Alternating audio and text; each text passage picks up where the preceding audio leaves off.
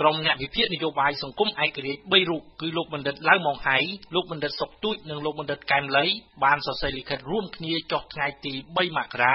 ដើម្បីយាងព្រះករុណាព្រះមហាក្សត្រព្រះមេត្តាអញ្ជើញថ្នាក់ដឹកនាំជាន់ខ្ពស់នៃគណៈបកប្រជាជនកម្ពុជានិងគណៈបកសង្គ្រោះជាតិជួបចរចាគ្នាក្នុងពេលវេលាដ៏ឆាប់បំផុតក្រោមប្រជាធិបតេយ្យភាពដ៏ខ្ពង់ខ្ពស់របស់ព្រះអង្គលិខិតបានលើកឡើងថាព្រឹត្តិការណ៍ហិង្សារវាងកម្មករនិងកងកម្លាំងប្រដាប់អាវុធ នៅថ្ងៃទី3មករា បណ្ដាលឲ្យជនស៊ីវិលស្លាប់និងរបួសជាច្រើនអ្នកដែលព្រឹត្តិការណ៍ហិង្សានោះបានកើតឡើងភ្លាមភ្លាមដោយគណៈបកសង្គ្រោះជាតិនិងគណៈបកប្រជាជនកម្ពុជាមិនអាចដោះស្រាយបញ្ហានយោបាយបានតាមរយៈការចរចា លិខិតដដែលបានបញ្ជាក់ថា ចំពោះមុខព្រឹត្តិការណ៍ដ៏សែនរន្ធត់នេះប្រទេសជាតិយើងពិតជាត្រូវការជាបន្ទាន់នៅពរិទ្ធទូនីតិដែលមិនអាចខ្វះបានរបស់ព្រះករុណាជាអម្ចាស់ជីវិតតម្កល់លើត្បូងដោយមានកំណត់ក្នុងរដ្ឋធម្មនុញ្ញដើម្បីជាអាជ្ញាកណ្ដាលនិងជានិមិត្តរូបឯកភាពជាតិក្នុងការដោះស្រាយវិបត្តិនយោបាយដ៏ជ្រាលជ្រៅនេះដោយចាត់ទុកស្ថានភាពនៅកម្ពុជាបច្ចុប្បន្នធ្ងន់ធ្ងរបំផុតលោកកែមលីបានលើកឡើងថា ព្រះមហាក្សត្រមានព្រះរាជតួនាទីដូចមានចែងក្នុងរដ្ឋធម្មនុញ្ញជាអាជ្ញាកណ្ដាលក្នុងការផ្សះផ្សាជាតិដូច្នេះយើងចង់សំណូមពរឲ្យព្រះអង្គមានព្រះរាជតួនាទីជាអាជ្ញាកណ្ដាលក្នុងការផ្សះផ្សាជាតិដោយឯករាជ្យបំផុតទីមួយយើងឃើញរដ្ឋាភិបាលប្រើកងកម្លាំងយោធាដើម្បីបង្ក្រាបបាតុករចាប់ឬមួយក៏ប្រើអំពើហិង្សាសួរថាតើ ព្រះមហាក្សត្រក្នុងនាមជាអគ្គមេបញ្ជាការកម្ពុជានិងក្នុងនាមជាប្រធានឧត្តមក្រុមប្រឹក្សាការពារជាតិបានបញ្ជាកងកម្លាំងទាំងអស់នោះទេឬមួយក៏ព្រះអង្គមិនបានបញ្ជានឹងជារឿងមួយ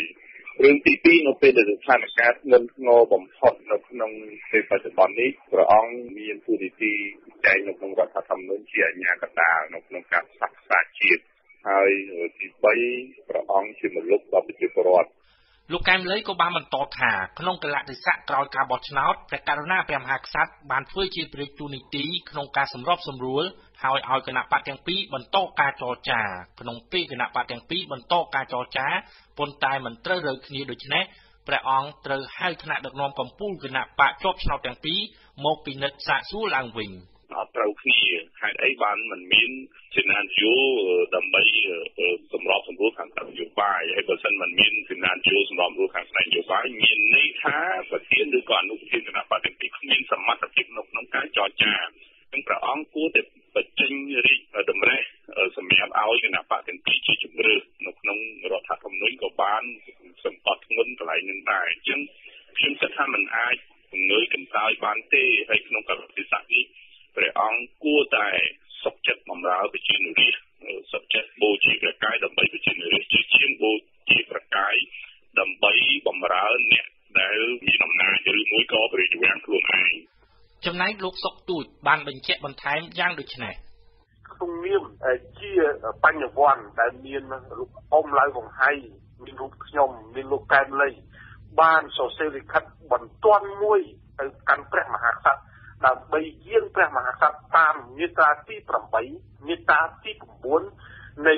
រដ្ឋធម្មនុញ្ញដើម្បីយាងព្រះអង្គជាបន្ទាន់ដើម្បីសម្របសម្រួលនៅអ្នកនយោបាយឲ្យចូលតុចរចាដើម្បីបញ្ឈប់ការបង្ហូរឈាមរបស់ខ្មែរទាំងអស់គ្នាពីព្រោះឈាមរបស់ខ្មែរដែលដៃទៅទេហ្នឹងហេតុអីបានជាយើងធ្វើដល់ថ្នាក់ហ្នឹងហេតុអីបានជាអ្នកនយោបាយបែកខ្នងដាក់គ្នាហើយធ្វើឲ្យឈាមខ្មែរហូរ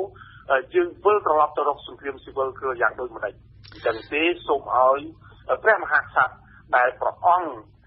គង់ជាអាជ្ញាកណ្ដាលព្រះអង្គជាអគ្គមេបញ្ជាការព្រះអង្គជានិមិត្តរូបមលុបរបស់កូនចៅហេតុនេះហើយត្រូវតែព្រះអង្គយាងប្រើប្រាស់ព្រះសម្រិះរបស់ព្រះអង្គដើម្បីដោះស្រាយចំនួនរវាងខ្មែរគ្រប់ភាគី ជាមួយគ្នានោះលោកសុកទួយក៏បានបន្តថារូបលោកក៏ដូចជាបញ្ញវន្តជាច្រើនទៀតរងចាំជួយព្រះមហាក្សត្រជានិច្ចដើម្បីចូលរួមដោះស្រាយបញ្ហាជាតិសំខាន់សំខាន់ក្នុងបំណងទប់ស្កាត់សង្គ្រាមស៊ីវិលរវាងខ្មែរនិងខ្មែរបំណងតែមួយគត់គឺចង់ឲ្យព្រះមហាក្សត្របោះអញ្ជើញអ្នកនយោបាយទាំងពីរភាគីគឺគណៈបកសង្គ្រោះជាតិនិងគណៈបកប្រជាជន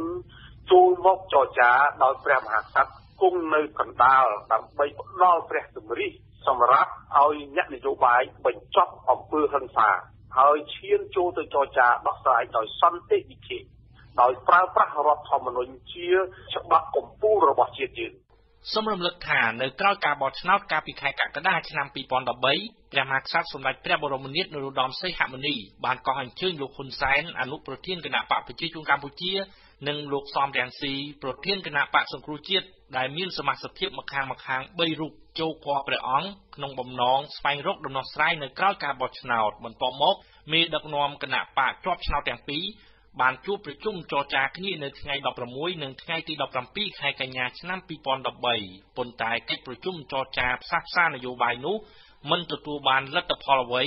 ដើម្បីដោះស្រាយវិបត្តិនយោបាយដែលបានអូសបន្លាយរហូតដល់សប្តាហ៍ថ្ងៃនេះ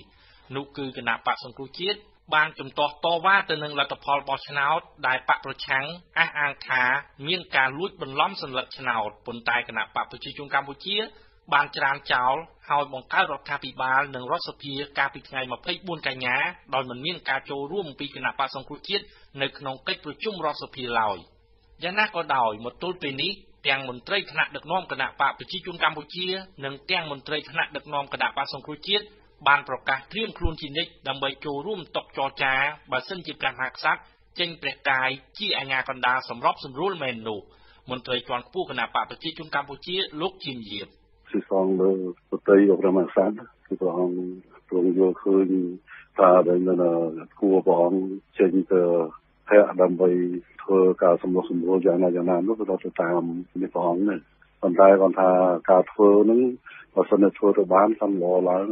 យើងចង់បានសុខសន្តិភាពយើងចង់បានការរួបជាតិប្រសាជាតិគឺថាសម្ដេច